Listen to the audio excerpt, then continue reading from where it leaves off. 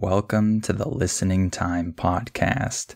Hey, everybody, this is Connor, and you're listening to episode 103 of the Listening Time Podcast. I hope you're all doing great. I'm really excited for today's episode. It's going to be a little bit of a special episode. Uh, we're going to be talking about reading in English, and I chose this topic in particular because I also wanted to announce that I just published my first book, which is a collection of three short mystery stories. And this book is meant for Spanish speakers who want to practice their reading in English. So I'm going to talk a little bit about my new book and then I'll talk about some of the different benefits of reading in English. So this should be a great topic for all of you. And before we get started, remember that if you want my advanced podcast episodes, then you can become a listening time family member and you'll receive two new episodes every month. And if you want to ask me your questions regarding English or language learning, then sign up to become a listening time VIP and you'll be able to ask me your questions every week and I'll answer them in a weekly Q&A session. So the link to sign up is in the episode description below this episode. That's patreon.com slash listening time. And of course, you also have the transcript available in the episode description. So click on that if you need it. And please remember to give this podcast a five star rating and write a review if you haven't done so already, and share it with anyone else you know who's learning English. All right, let's get started. Are your ears ready? You know what time it is. It's listening time. Okay, so let's talk about my book and about reading in English. So, as I already mentioned, I wrote a book which is a collection of three short mystery stories. And I wrote this book in English. I wrote each story in English, of course. And then I translated each of these stories to Spanish. And the way that the book is uh, formatted, or the way that it's organized, is that each story is divided into small parts. And you have the English part first, and then below that, you have the Spanish translation. So, for example, there might be one paragraph in English and then below that, you have the Spanish translation of that paragraph. And so you can easily look at the Spanish translation underneath the English paragraph if you can't understand some new word or phrase, or if the grammar doesn't make sense to you, you can easily look down at the Spanish translation and see what it means. So that should be very helpful because normally it's a little bit annoying to have to uh, use a dictionary or a translator and uh, stop reading and then open up your phone or another tab on your computer or something like that, and then look up every new word that you don't understand that can be a little bit tiring or not very fun when you're reading in a foreign language. So, in this way, with uh, the way that I formatted this book, you don't have to do that. Uh, there might be a few instances where you still need to look up the definition of a word or a phrase or something, but for the most part, you won't need to do that you'll just look down at the translation and see what the word means, and then you can just keep on reading. That's why I wanted to write the book in this way so that you can easily read it even if there are a lot of new words or phrases. It won't be quite as difficult because you won't have to use uh, a translator or a dictionary as much. So uh, I think that that will help you out.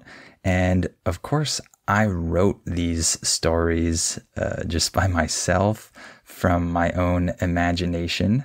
And I hope that you find them interesting. I haven't published any stories like this before, so this is new for me. Uh, but I hope that uh, you find them interesting, like I said. Uh, and I hope that if you're a Spanish speaker and you've never read any fiction in English, that this could be a good tool to help you start on that journey. Uh, I know that reading in a foreign language sounds very daunting. In English, the word daunting means something sounds very intimidating. It's a little bit uh, scary because of how big or difficult that it is. I know that reading in a foreign language might sound daunting to you, but I think that this is something that we should all want to do as language learners. It's a great goal for us to have to start reading in our foreign language that we're learning. And so I hope that this book uh, can provide you with that uh, entrance into the world of reading in English. And of course, I'm going to include the link to my book in the episode description below this episode. And I forgot to mention that this is an ebook, it's an electronic book, it's not a physical book. So uh, you won't get anything delivered to you physically. It's a book that you can read on a device like a Kindle or maybe on your phone if you have the Kindle app uh, so that you can read it there uh, electronically. Uh, this book is being sold on Amazon. So it's uh, being sold through Amazon Kindle. Uh, I don't know if you've ever read any books with a Kindle before, but if you haven't, then this is a good first opportunity to do so. Uh, so, if you're a Spanish speaker and you're interested in that, make sure to click on that link in the episode description. And if you're not a Spanish speaker, I'm sorry that I don't have this book translated into other languages yet, but maybe in the future I'll be able to translate it and have it available in other languages besides Spanish. I'll definitely let you know about that. All right, let's talk a little more about the benefits of reading in English. So, the first benefit I want to talk about is that reading in English is an input exercise. So, you might remember from some of my older episodes where I talk about language learning and input, that input in the context of learning a foreign language refers to listening or reading in that language. When uh, the English or the language that you're learning um, comes to you, right? Someone else is speaking to you, or you're reading something. Uh, the language is coming to you. This is input. And the reason that I'm saying that this is a benefit of reading in English is that input, in my opinion, is the way that we actually acquire languages. Okay. In my opinion, based on the research that I've done, based on other people's research and studies, and based on my experience as a learner and as a teacher, I can confidently say that input is the way that we actually acquire language. We acquire language because we absorb it from sources, from listening or reading. And over time, we become more and more familiar with the different elements of that language in a natural way from what we listen to and what we read. Um, this isn't to say that speaking and writing aren't important, but those uh, have a different function uh, when it comes to language learning and language acquisition. Uh, primarily, in my opinion, uh, we acquire languages for the most part from what we are listening to and reading. So, books uh, and reading in English or whatever language that you're learning um, actually help this process of acquiring the language. It helps your brain absorb the language and become more familiar with it. Um, it helps you absorb new vocabulary, grammar, structures, all that kind of stuff.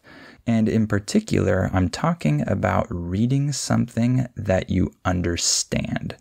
Uh, so uh, when you read something that you don't understand at all, it's really, really hard for you, then you don't really get this benefit. But when you read something that is comprehensible, it's understandable, um, even if it's a little bit challenging for you, as long as you understand it, you're going to be acquiring the language as you read. So, this is a really big benefit when it comes to reading in a foreign language. As you all know, I'm a big proponent of spending a lot of time listening. Uh, in English, the word proponent refers to someone who supports something. So I support the idea of doing a lot of listening. I'm a proponent of this idea. Uh, I listen uh, when I do my language learning, and this is my main activity. However, I'm also a proponent of reading. So both of these two activities are extremely useful in the language acquisition process. So, specifically, let me talk about vocabulary. So, when you read something in your foreign language that is understandable for you, but there are some new words mixed in, um, this is a perfect opportunity for your brain to start to uh, acquire this new vocabulary. So, one cool thing about reading books is that books often have a wider range of vocabulary. Uh, you've probably noticed this when you read fiction or nonfiction. Um, you might see a lot of new words that you're not familiar with. And this is because when we write something, if you've ever written a story or whatever, you are focused on describing things in a more careful way than when you're speaking. You're actually planning your sentences. You're rewriting your sentences and changing words. You're actually planning every word that you write down. And so, of course, we're going to choose um, different words to describe things in different ways. We're going to uh, choose uh, from a wider range of vocabulary to give more interesting descriptions and write more interesting and uh, precise sentences um, for our readers. So, this is one cool thing about reading. Uh, it exposes you to a lot of vocabulary. And you might think that you already know a ton of vocabulary in a foreign language. But when you read a book in that language, you usually realize that there are a lot of other words that you still don't know and you have the opportunity to learn them when you read these books. So that's really cool. And another thing in terms of vocabulary is that when you're reading, you can easily reread words and sentences to help you understand them better. So, for example, let's say you're reading a book in English and then you come across a sentence that's hard for you to understand. Well, you can pause right there and then you can read that sentence again. By the way, the phrasal verb come across means uh, when you encounter something. So in this context, I'm saying you sometimes encounter a new uh, word or phrase or something in a sentence and you can't understand it. And then you reread it and maybe look up the translation of a certain word or phrase in that sentence until you can understand it again. So when you're listening, you tend not to do this as much because it's harder to pause the video and then rewind it and find the sentence again and then uh, pause the video and then look it up, uh, look up the new word or whatever. Um, when you're watching a video or listening to a podcast, um, this is a little bit more time consuming to do that. However, when you're reading, you just simply stop reading uh, after that sentence and then go back and read it again. It's really easy. It's a lot faster to reread a sentence than it is to uh, pause and rewind a video or a podcast or whatever and then listen to it again. So, reading um, gives you that uh, opportunity to easily repeat new words and sentences. And for example, with my book, you actually have the translation underneath, the Spanish translation, of course.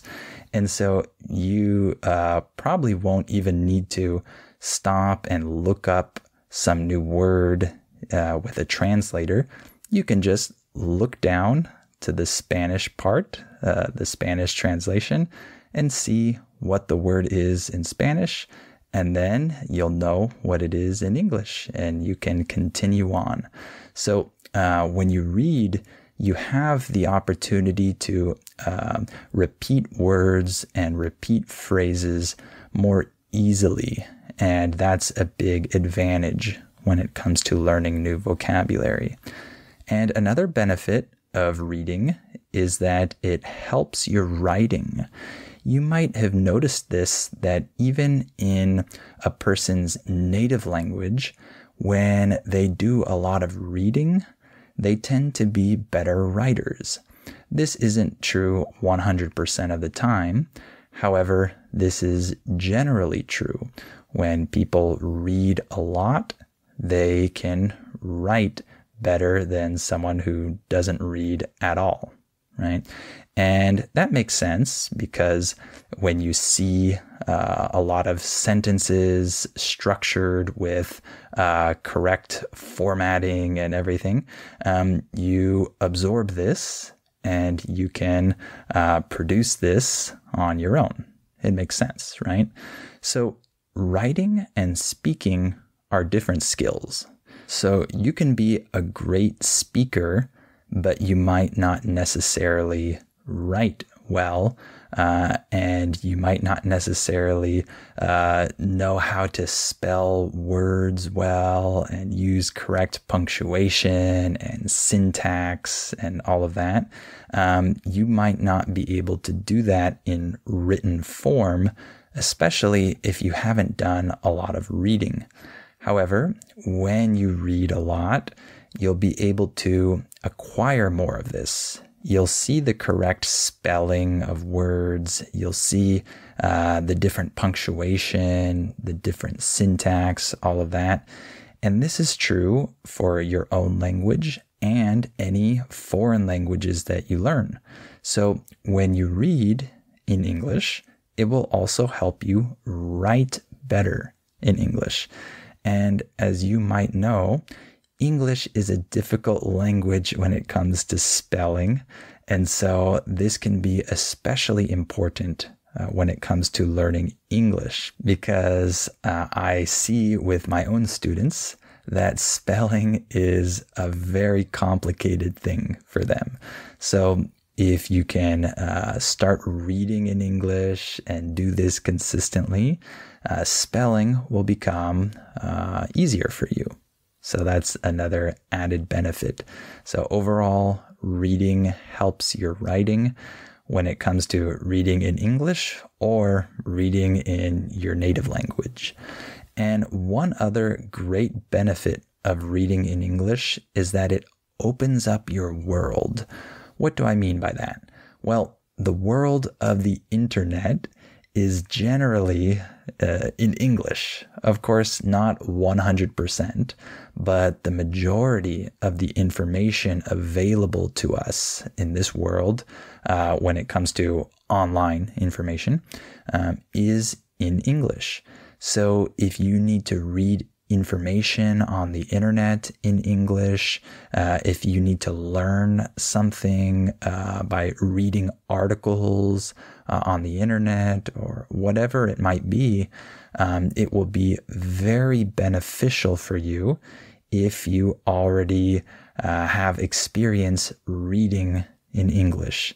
This will make it easier for you to learn things online, read things, read comments on videos and things like that, even things that aren't quite as important, you'll be able to do these things a lot more easily if you've practiced reading in English.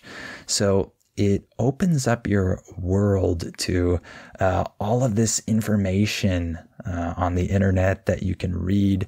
And not only on the internet, but you can also read many different books uh, if you can read in English because so many books are written in English. A lot of books that you might be interested in uh, were originally written in English by American authors or British authors or authors from other English speaking countries and you'll be able to read these books in their original language uh, if you can read in English. So that's really cool as well. And so your world will be opened to different books, information on the internet, all kinds of things if you're able to read in English. So that's another really cool benefit. All right, before I end, I just want to remind you that if you want my book, my collection of three short mystery stories uh, to help you practice reading in English, then you can click on the link in the episode description below this episode, and that will take you to the Amazon page where you can uh, buy this book and read it uh, with any kind of device uh, where you can read Kindle books. So uh, make sure to click on the link in the episode description if you want that. And if you like the book, I would really appreciate it if you could leave a review for the book on the Amazon page. Uh, that would really help me out. Uh, that helps the book uh, reach more people. So if you like the book, please consider leaving a review on the Amazon page. That would be really helpful for me. So I really hope that you guys like this book and that it's helpful for you and that it can be a good introduction for you to the world of reading in English. And of course, if you want my advanced episodes, then become a listening time family member and you'll receive two new episodes every month. And if you want to ask me questions regarding English or language learning, then become a listening time VIP and you'll have access to my weekly Q&A sessions.